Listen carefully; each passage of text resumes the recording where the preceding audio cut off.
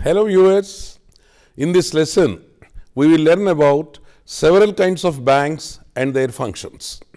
Objectives Commercial banks, industrial banks, cooperative banks, other kinds of banks. Viewers, now we will examine the nature and functions of commercial banks. The most significant function of banking is to accept deposits from the public and also grant loans, which can be termed as creation of credit. A commercial bank is a kind of bank which provides multifarious services along with providing basic services to public like acceptance of deposits, granting of various loans, and offering various products relating to investments. In the modern banking system, the commercial bank could be a bank by itself or could be a division of a mighty banking institution which would provide varied services to individuals, institutions, organizations, and even to the government. The commercial banks in India are functioning in both private and public sectors. The commercial banks are considered to be the oldest banks. They have a very wider area of business and multiple branches. The commercial banks in India carry a very high public confidence and according to the research observers, these banks command a highest share in the overall banking operations. The commercial banks in the present globalization scenario carry multi-dimensional activities which include business, industrial, agricultural funding and also merchant banking. Viewers, now we will examine the role and functions of commercial banks. The role and functions of commercial banks differ from country to country. As for example, in the United States of America, at the present, the commercial banks are restricted to only banking activities. They don't undertake capital market activities. Capital market activities are carried by the investment banks. In Indian scenario, today commercial banks carry multiple functions. As for example, most of the commercial banks carry the capital market activities. Even though specialized agricultural finance banks are established by the governments, the commercial banks finance agriculture sector also. In India, several commercial banks were established as corporate entities by private individuals and organizations and later on the state took control of the same. The state started conducting banking operations by establishing state owned banks like State Bank of India and its subsidiary banks through enacting legislations like SBI Act 1955 and also by the process of nationalizing some existing banks. The commercial banks in India play a very significant and pragmatic role in increasing the gross domestic product through their multifarious functions. With the ever expanding banking activities which are globalized today in India, the commercial banks discharge the following functions.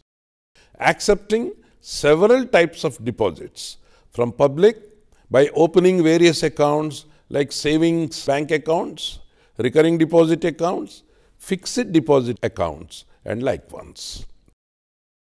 Providing various kinds of loans and advances like personal loans, professional loans, agricultural loans, industrial loans, housing loans, educational loans, and like ones.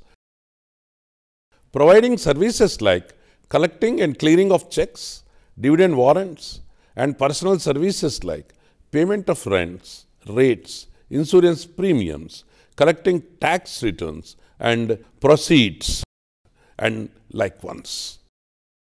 Providing bank drafts, bankers' checks, money transfers, and like services.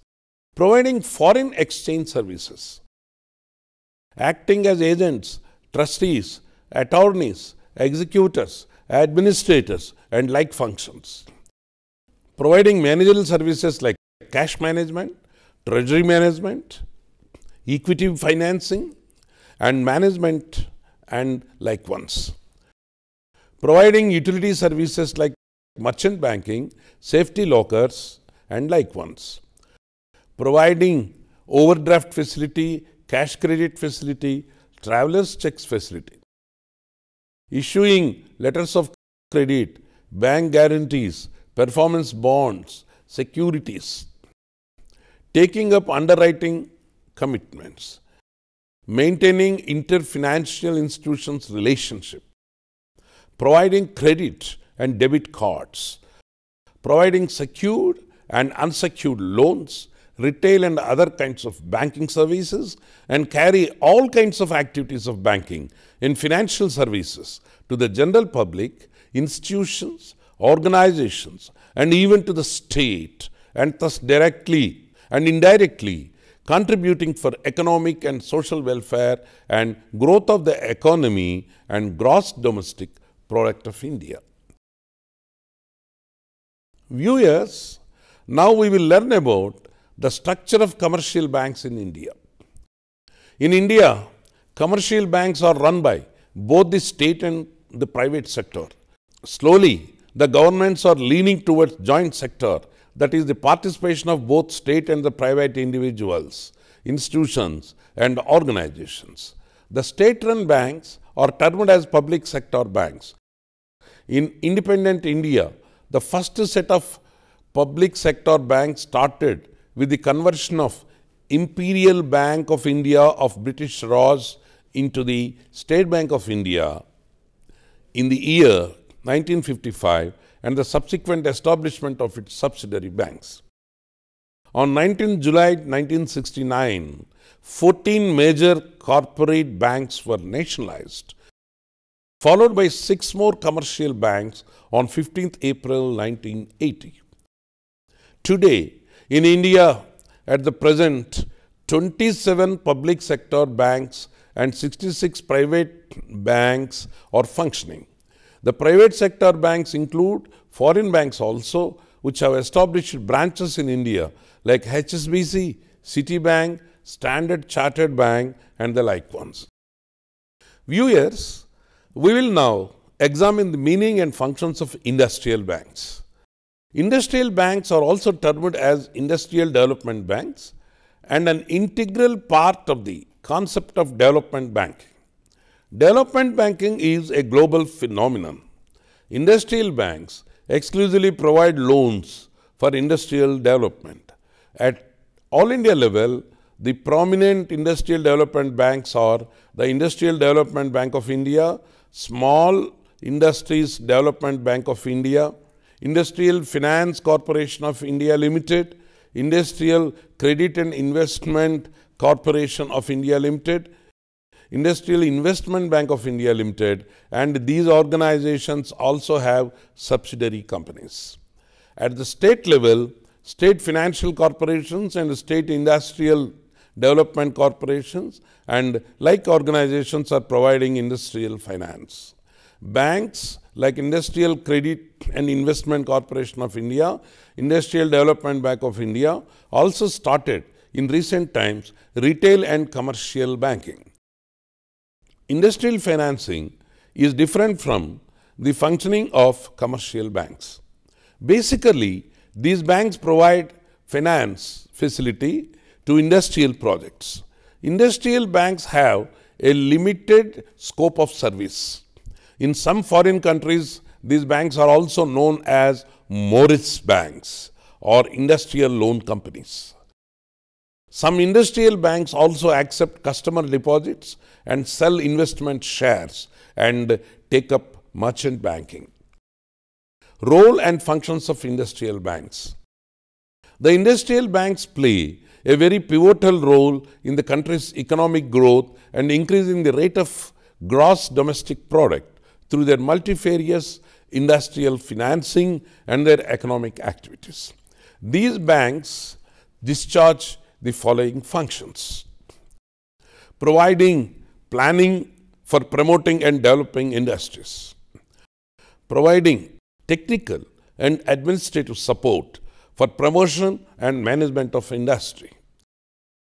Providing technical and administrative support for expansion of industry.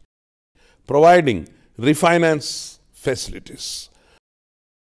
Providing underwriting facilities and also purchasing underwriting shares and debentures of the industrial companies. Guaranteeing deferred payments due from industrial concerns and for loans raised by them. Taking up market and investment research, research service.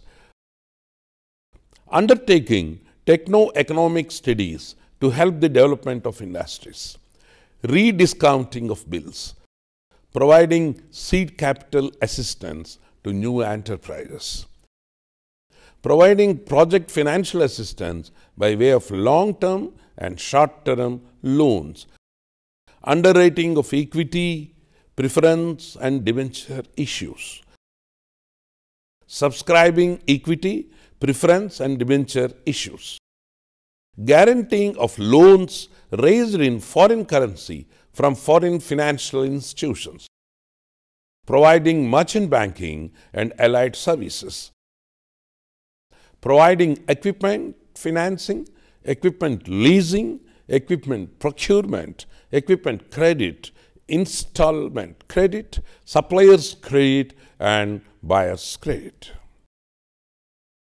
Providing fund support for technical consultancy, risk capital, venture capital, development of technology, tourism, entrepreneurship development, and development of science and technology. Providing rehabilitation of sick industrial units. Providing various other facilities for the promotion, management, and sustenance of industries. The industrial banks play an equally indispensable role in the economic and industrial growth of the Indian economy on par with the commercial and other types of banks. Viewers, we will now learn about the cooperative banks. The concept of cooperative banks was promoted during the development of cooperative movement in India. Banks should be either statutory banks or corporate entities. As corporate entities, they must be incorporated either under the Companies Act 2013 or any previous Companies Act or the Cooperative Societies Act. The state governments passed their own Cooperative Societies Acts like the AP Cooperative Societies Act 1964. There is another central legislation called Multi-State Cooperative Societies Act 2002. By registering a cooperative society under the above Cooperative Societies Acts, banking business can be carried and those banks are called cooperative banks. The cooperative banks, even though perform the basic functions of banking, differ from the commercial banks in many ways. Cooperative banking carry retail and commercial banking organized on a cooperative basis. The system of cooperative banking prevails all over the globe. These banks take deposits and lend money. The services include retail banking carried out by credit unions, mutual savings banks, building societies and cooperatives and the like ones. Role and functions of cooperative banks. The cooperative banks play an integral role in rural development in India. They play a very significant role in promotion of cooperative movement in both urban and rural parts of India. The prominent functions of cooperative banks are as follows. The cooperative banks function in a three-tier setup, viz. the state cooperative bank as the apex institution in the state, central oblique district cooperative banks functioning at the district level and primary credit societies functioning at the village level unlike the commercial banks which are organized on a unitary basis.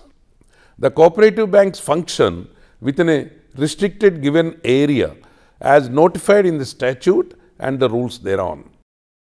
Basically, the cooperative banks function in the rural India financing agricultural and allied activities. The cooperative banks are governed by only few sections of the Banking Regulation Act 1949 unlike the commercial banks which attract all the provisions of the Banking Regulation Act. The control of the Reserve Bank of India is partial over the cooperative banks in comparison with the commercial and other kinds of banks. Cooperative banks function basically on the principle of cooperation in tune with the cooperative movement. The Reserve Bank of India has granted several concessions including interest rates for the functioning of the cooperative banks. Some of the organizations carrying the business of microcredit and microfinance function on cooperative model. Microcredit is provided for small business concerns. The cooperative banks are functioning in both public as well as private sectors and providing cheap credit to the members and also providing a great source of rural credit for agricultural operations in India. Viewers, now we will learn about another type of cooperative banks called land development banks. For providing long-term credit facilities to the agricultural sector, another type of cooperative banks are developed known as land development banks. These banks have a two-tier structure, one at the state level under the name of Central Land Development Banks and another at the district or taluk level known as Primary Land Development Banks. In some states like Jammu and Kashmir, UP and Gujarat, the structure is unitary that is only one apex land development bank operates throughout the state with its own branches. These banks raise their resources in multiple ways and they also float debentures in the market which carry the guarantee of the government. The debentures also are subscribed by the state and central governments, Life Insurance Corporation of India, commercial banks and other land development banks as a policy of mutual support.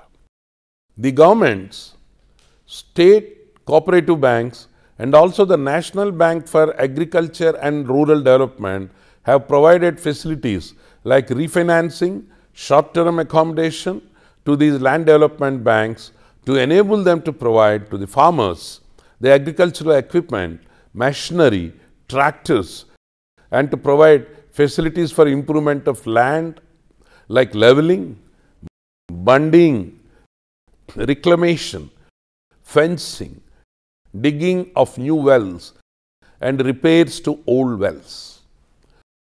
The loans are granted by these land development banks on the security of the mortgage of immobile property provided by the farmers. The cooperative banks are of a great help for farmers, middle income group persons and people in need of microfinancing. Viewers, there are various other kinds of banks carrying banking operations. Such some important banks are discussed now. Development banks. Development banks are financial institutions whose basic objective is to provide specialized financial assistance for the business and agricultural sectors. Business here includes trade, commerce and industry. Thus, Development banks include industrial banks. The functional spectrum of development banks is very wider than industrial banks as industrial banks exclusively finance for industrial activity whereas development banks finance business and agricultural sectors and business means as stated afore trade, commerce and industry. These banks provide finance to both private and public sectors.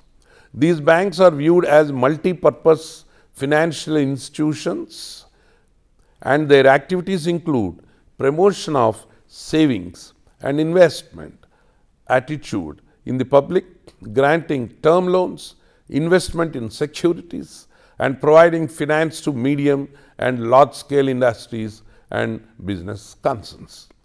The development banking was introduced in the world after the Second World War as the development bank started at that point of time provided finance to reconstruct the properties, buildings and industries which were destroyed in the war. In India, the development banking was adopted after independence. The basic concept is that these banks should provide finance on subsidized interest rate for the promotion and development of agriculture, import and export, housing development, industry and other business activities. The funding is aimed at the growth and development of the economy in particular and the society in general. Mostly, the development banks in India are in the public sector. On the industrial sector, the prominent development banks are Industrial Development Bank of India, Industrial Finance Corporation of India, which is the first development bank in India started in the year 1948, and Small Industries Development Bank of India. On the agricultural sector, National Bank for Agriculture and Rural Development is very prominent. On export and import development, the Export Import Bank of India is playing a very pivotal role. On the housing development, the National Housing Bank is the major contributor. In India, development banks fund by way of equity capital as well as loan capital.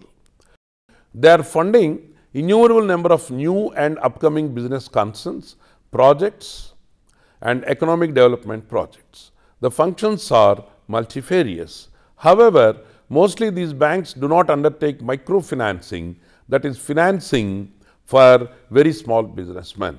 The functions of development banks are narrated here under providing all types of financial assistance to business units, providing long-term, medium and short-term loans for starting as well as development of business, taking up all promotional activities of business that is trade, commerce and industry, acting as underwriters, providing investment and guarantee operations, taking up such activities for the economic development of country and also contribute for the balanced regional growth, encouraging new and small entrepreneurs, providing financial assistance to both public and private sectors, filling up the deficiencies of the present financial facilities which are already being provided by the conventional banks and financial institutions.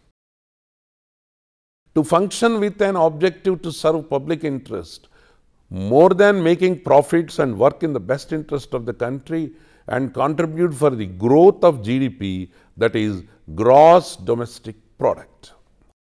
Thus, the development banks have a very larger role to play in the country's economic development.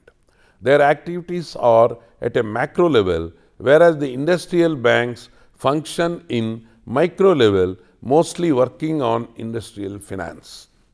At the global level, the Asian Development Bank is the best example of a development bank.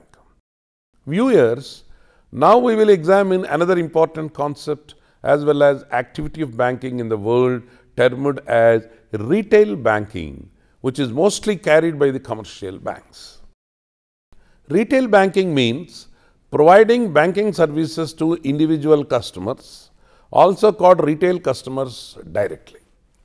This type of banking is also referred to as consumer banking or personal banking.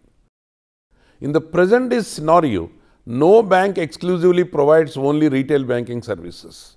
Normally, retail banking services are provided by different divisions of banks, whether large or small.